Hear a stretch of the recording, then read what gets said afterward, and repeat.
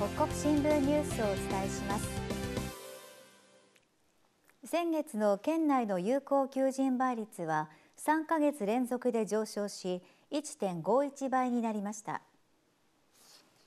石川労働局は今日県内の雇用失業情勢を発表しました。それによりますと先月の有効求人倍率は1月より0.5倍高い1.51倍となり3ヶ月連続の上昇になりました。石川県内では製造業を中心に求人が堅調に推移する状態が続き先月の有効求人倍率は全国順位で8位になります。しかし労働局は新型コロナの影響が依然として懸念されるとして雇用情勢判断を注意を要する状態にあるが持ち直しの動きが広がっていると8ヶ月連続で据え置きました。石川労働局の吉田健一局長は今回の求人倍率について新型コロナの影響が本格的に出る前の倍率となったがまん延防止等重点措置による雇用の動向を注視する必要があると述べました。ゴリとも呼ばれている淡水魚カジカの稚魚放流に向け卵を採取する作業が加賀市内でピークを迎えています。石川県内水面水産センターは資源の確保や食文化の継承を目的にカジカの稚魚を生産しています。今年も来月末までに例年並みの10万粒から15万粒の産卵が予定され職員は今日も産卵床に産みつけられた卵を回収し管理用に水槽へ移していました。カジカは孵化した後体重 0.2g 以上になるまでセンターで育てられます。そして7月から10月にかけておよそ2万5千尾の稚魚が内水面漁協や自治体に配布され金沢市の犀川や浅野川のほか加賀市の胆振橋川などに放流されます。県内水面水産センターの永井勝所長はできるだけ大きく元気な稚魚に育てたいと話していました。ニュース解説のコーナーです。スタジオには北国新聞地方部の安田部長にお越しいただいています。よろしくお願いします、はい、よろしくお願いします。七尾市の一本杉通り振興会は来月29日から北陸に伝わる嫁入り道具花嫁のれんを集めた花嫁のれん展を3年ぶりに開催します。さて部長そもそも花嫁のれんとはどういったものなのか教えてください。はい。え花嫁のれんというのはあの嫁入りする女性が、えー、成果から持参してで婚礼の当日に、えー、婚家の仏間にかけてでそこをくぐることでそのお家の向こうのお家の一員になれたというふうに認められるという習わしのために使われております。なるほど一本杉通り振興会はこの時期に展覧会を開いていますよね。はい、あのえー、一本杉通りの振興会は、えー、伝統的なのれんの魅力を発信しようということで、えー、2004年に、えー、この展示会、えー、展覧会を始めました。はい、で2009年2019年には一本杉通りのおよそ70軒の、えー、店舗ですとかあと民家の方で150枚ほどの花嫁のれんが飾られたということです。ああ、すごいですね。ただ去年と一昨年は中止になりましたね。そうですね。でえー、この2年あの新型コロナの影響で中止となったんですけれども、で実行委員会の方で。えー、この伝統を、えー、継承するためにものれん店を途切らしてはならないという声が上がりましてで今年は4月の29日から5月の8日にかけて開かれるということが決まりました。はいで委員会の、えー、鳥居雅子委員長さんが、えー、3年ぶりにのれるんを並べることができて嬉しいというふうにおっしゃられたということです。花嫁のれんに関しては展覧会の開催にも先日嬉しいニュースがありましたね。そうですね。で、えー、今月の23日の話になるんですけれども、花嫁のれんが、えー、国の、えー、登録有形民族文化財というものに、えー、なるということが正式に決まりました。はい、で、今回、えー、七尾の、えー、嫁のれんという名前での登録になるんですけれども、うん、でまあ、この花嫁のれんですとかであと夏にあの座敷の襖を外して使う夏のれん、はい、でそれからお婿さんとして入られる男性が、えー、使うこ花婿のれんというのもあるんですけども、うん、えー、これら、えー、103点が登録されたということです。はい、でこの登録にあたってですけれども、えー、花嫁のれん展の開催が、えー、されたということも、えー、考慮されたということで、うん、えー、地域が頑張っているということが評価されたようですね。はい、なるほど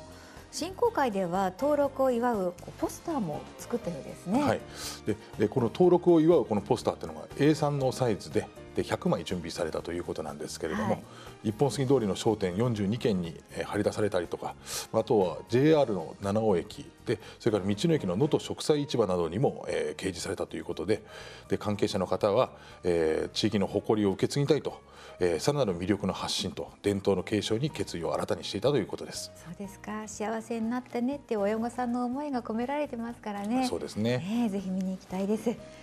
さてここまでニュース解説北国新聞地方部の安田部長とともにお伝えしました。ありがとうございました、はい、ありがとうございました。ニュースを続けます。来月1日に開幕する現代美術展の作品審査が昨日行われ一般の部で715点の入選が決まりました。78回目を迎える現代美術展の審査は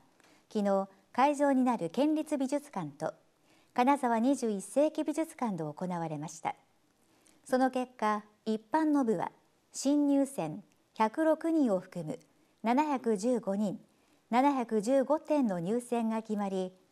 内訳は日本が66点洋画199点彫刻23点工芸83点書204点写真140点になりました。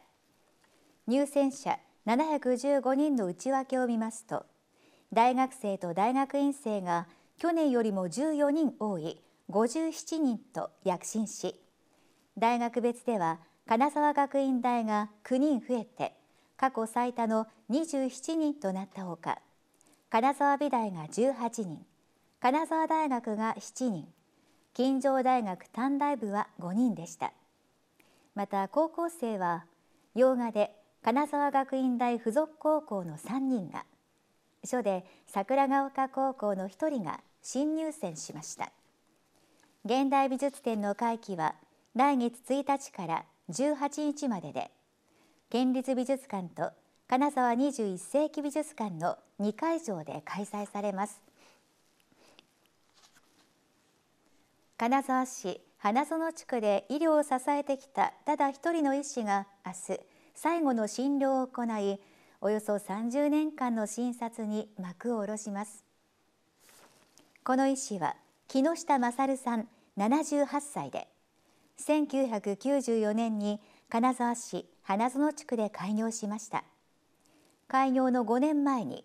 花園地区にいた別の医師が亡くなり住民が医師会に陳情するほど困っていたことを知って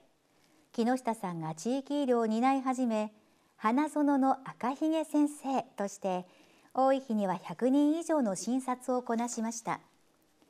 新型コロナの下ではドライブスルーによる PCR 検査やワクチン接種で住民の不安に応えました。しかし高齢なことを考え明日でおよそ30年間の診療に幕を下ろし大学の後輩にあたる医師に後を託すことにしました。木下さんの委員には死ぬまで見てもらうつもりだったのにと寂しがる患者が絶えません。木下さんは無我夢中の30年地域の人に頼ってもらい本当に楽しかったと思い出をかみしめていました。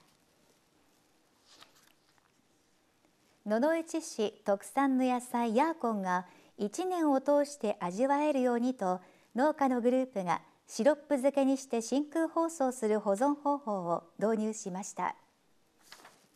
健康野菜として注目されているヤーコンは南米原産の根菜で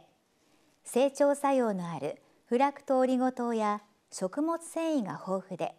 肌の調子を整えたり血圧上昇を抑えたりする効果があるとされています。野々市市内では6人がヤーコンを生産していますが収穫期の11月から翌年3月頃までしか鮮度を保てないのが課題でした。そこで生産者で作る野々市ヤーコンクラブはヤーコンを通年で流通させるためシロップ漬けにして真空包装する保存方法を導入し消費拡大を図ることにしました。